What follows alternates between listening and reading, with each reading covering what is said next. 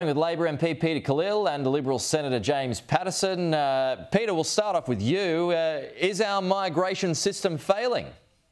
Yes, it's broken.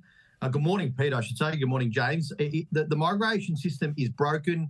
It's in need of systemic reform. It's unstrategic. It's slow. It's unplanned.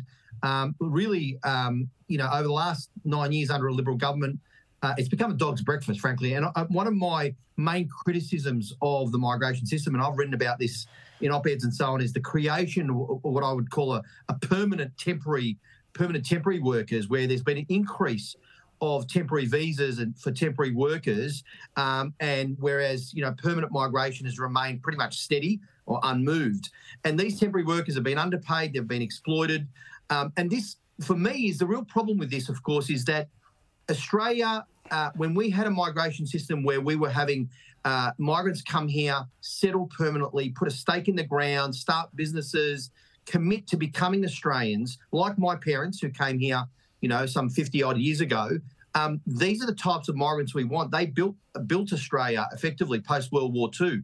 Um, we haven't seen that. That hasn't been encouraged. So we're losing people uh, as well in a, competi- a, competitive sense to other countries where we're not we don't have a migration system that uh, captures you know the best skilled migrants those who want to become australians. And you know I, I heard what Susan ley said and very quickly i'll say this. Please please they increased temporary migration numbers. They effectively doubled under the previous government okay? And they talked about congestion busting. They they did a small cut to permanent migration but temporary visas doubled, and 87% of those temporary visas, those workers, were in Sydney and, and, and, Melbourne. So, talk about congestion. The previous government actually added to that with their smoke and mirror play about migration systems, uh, about the migration system. So, we are seeking to fix this. There's right. going to be some major overhaul, and the minister's going to be talking about that today. There is that, but also you had the issue of COVID which basically reduced migration to zero, James. And, and now we've got to play catch up, don't we? But what, what, what's the ceiling here? Because you let too many folks in, rents jack up, housing continues to become more unaffordable. So, again, what's the, num- what's the number here?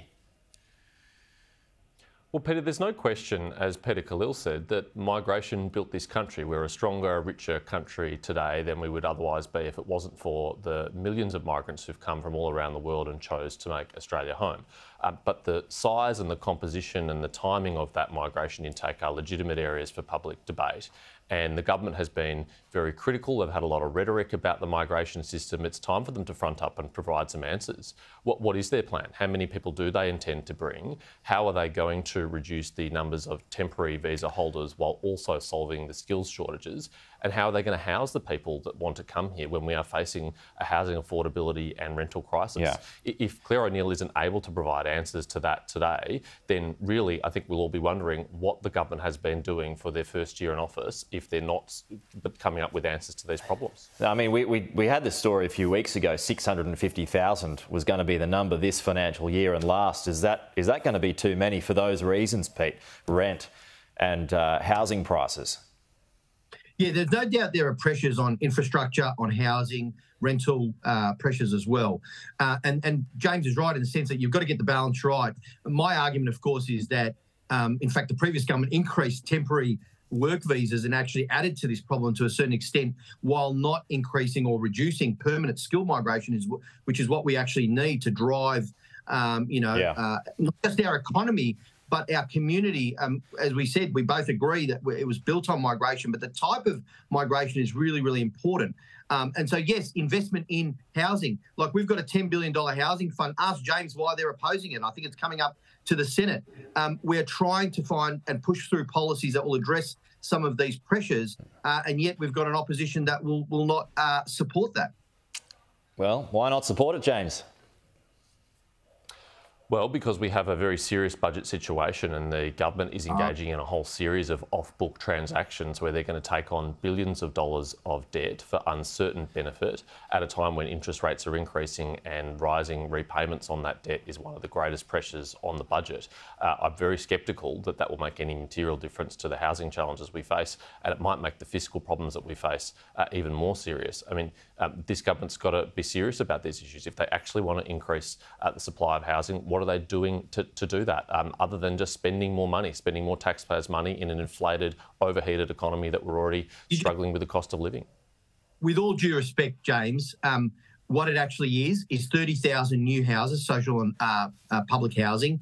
It's hundreds of millions of dollars to up, upgrade and main, maintenance for public housing. It's thousands of new homes for vulnerable Australians like women and children who are fleeing domestic violence, and particularly one of the largest increases in homelessness are, women, single women above 55. That is real.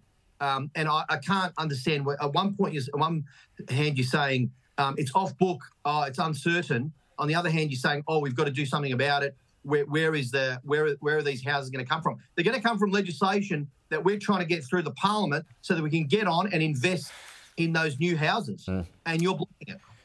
I didn't know. I'm interested to hear, Peter, that legislation can build houses. Last time I checked, it was people uh, that build houses, and we've got a massive shortage of workers who build houses. We've got a shortage of the key supplies that go into building houses, and that's why the building industry is on the brink. I don't think a new bill to the parliament is going to build a single new home.